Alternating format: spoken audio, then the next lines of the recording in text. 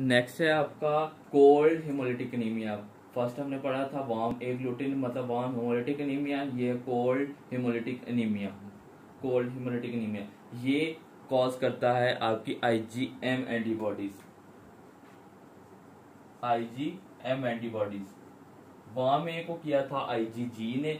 ये है वहाँ जो आपकी आईजीएम इनको कहते हैं कोल्ड एग्लूटिनिन्स अब इनको कोल्ड क्यों कहते हैं? कोल्ड मीन्स के ठंडे ठंडे इलाकों से याद रख लेना है।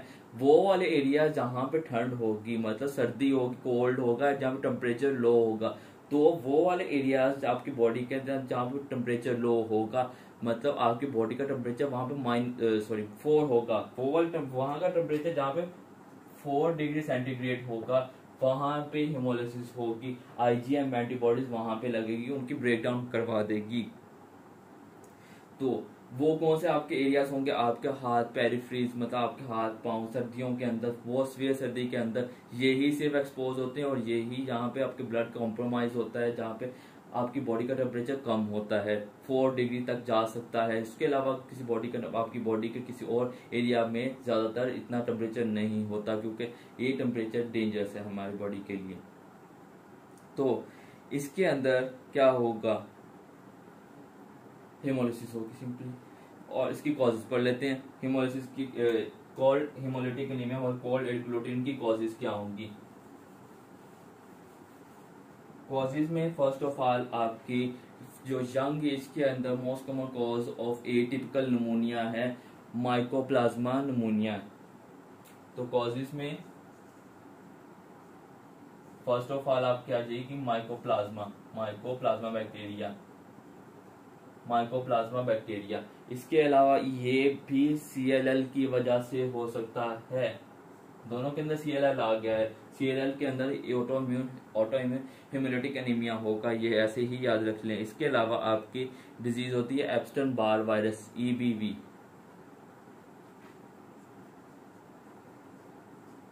Epstein Barr virus करेगा। और इसके अलावा एक डिज़ीज़ होती है डिज़ीज़ का नाम बस याद रख ले। Walden syndrome Walden syndrome Waldenstrom storm Waldenstrom macro macroglobulinaemia Walden syndrome macroglobulinaemia globulinaemia नीमिया disease है, इसको बस नाम याद रख लें, इसकी डिटेल नहीं यहाँ पे पढ़नी इसके अंदर बस ये याद रख लें, ये आपका बीटा लिम्फोसाइड जो बी लिम्फोसाइड है, उसका डिसऑर्डर होता है। ये आपकी कॉजेज थी mycoplasma pneumonia bacteria C L L A B V A B V आपका Walden syndrome macroglobulinaemia causes symptoms क्या होंगे? सिम्टम्स सेम वही होंगे जो वाम ग्लूटिनिन की थी। अब इन्वेस्टिगेशन वाम ग्लूटिनिन के अंदर जो मोस्ट रेकॉर्ड किया था कोम्स टेस्ट किया था, इसके अंदर कोम्स टेस्ट नहीं करते। इसके अंदर आपकी गोल्ड ग्लूटिन का लेवल ही चेक करते हैं। सिम्टम्स सेम है हेमोलिटिक एनीमिया वाले हेमोलिसिस वाले। तो आप डायरेक्टली इन्वेस्टिगेशन पे आ जाएँ। तो बेस्ट इनिशियल टेस्ट इसका भी सेम होगा बेस्ट इनिशियल टेस्ट इसके अंदर भी सीबीसी करवाएँगे, विस्मेयर सेम इसी के अंदर भी आपको वो मिलेंगे स्पिरोसाइड्स स्पिरोसाइड्स मिलेंगे. मोस्ट एक्यूरेट इसके अंदर कोल्ड कोल्ड ग्लूटिनिन्स का लेवल चेक करेंगे ग्लूटिनिन्स कोल्ड ग्लूटिनिन्स को चेक करेंगे बॉडी के अंदर आरबीसी के ऊपर अटैच होंगे तो उसका टाइटर करेंगे. ट्रीटमेंट क्या होगा? ट्रीटमेंट इजी है सिंपल है, कि सर्दी की वजह से हो रहा है, जो एरिया ठंड है तो आप पेशेंट को ठंड से बचाओ, उसको वार्म करो। और पहला तो वैक्सीनेशन ट्रीटमेंट तो आपका आ जाएगा ट्रीटमेंट तो पेशेंट को वार्म करो keep the patient warm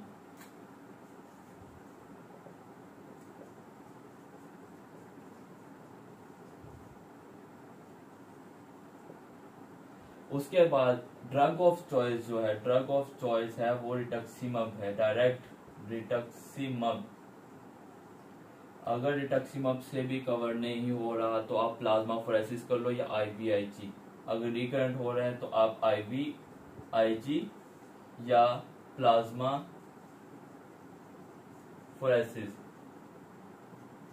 plasma phoresis मतलब आपके आपके ब्लड के अंदर से इन आईजीएम एंटीबॉडीज को ही रिमूव कर दो। अगर पेशेंट स्वेयर है या रिकरेंट हो रहे हैं तो ये था आपका warm agglutinin warm haemolytic anaemia autoimmune haemolytic anaemias कर रहे थे। उसके अंदर वॉर्म किया था और कोल्ड हिमोलिटिक सॉरी किए था कोल्ड हिमोलिटिक अनीमियास